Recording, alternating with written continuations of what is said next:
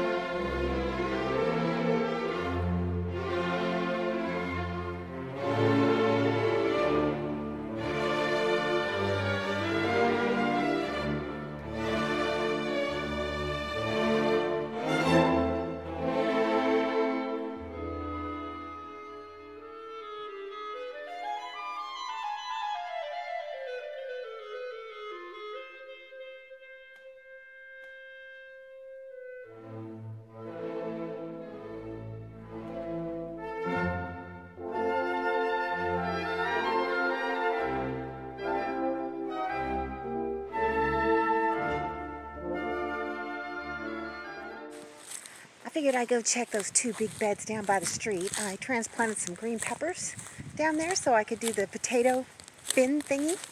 So let's have a look at them.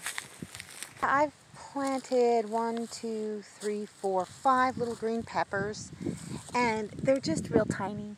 You know, they're just tiny right now. Hopefully they'll survive the transplant because they are at a delicate stage. I probably should have waited, but I really wanted to plant those potatoes. So I don't know what else I'm going to put in this bed. I think that I am going to put beans in this bed. I'm going to take a whole row out of my bean thing because it's getting out of control.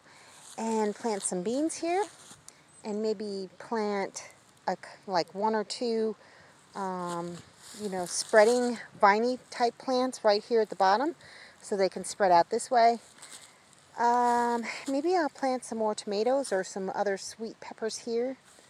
But the rest of this, I'm not going to plant any more new seeds. Um, I am just going to transplant plants from here and there that uh, need to be thinned out. And so hopefully I'll get to this bed tomorrow and finish up that bed tomorrow too. Whew, it's been a lot of work, but it's going to pay off in the long run. Got a lot of work done today, but I still have a whole lot more left to do. I really, really need to get that new solar set up outside and functioning because my solar right now is basically shot. The batteries, the highest I get them charged to is 11.9, so they're damaged. I need to get that solar outside, so I'm just going to pray I have the energy to do it tomorrow. It shouldn't it shouldn't be that big of a deal. It's just a new setup, new kind of wires, new everything. So although I kind of know what I'm doing with solar, I kind of this new thing, I, I'm hesitant. I'm hesitant to try new things. So I think that's going to be a goal for tomorrow among among so many other things. It's just going to be an ongoing process basically. So, well, anyhow, that's all I got for you guys today. I'll see you in the next video. Thanks for watching, everybody. I hope you enjoyed the video. Make sure you like, subscribe, hit the bell, and y'all have a good one.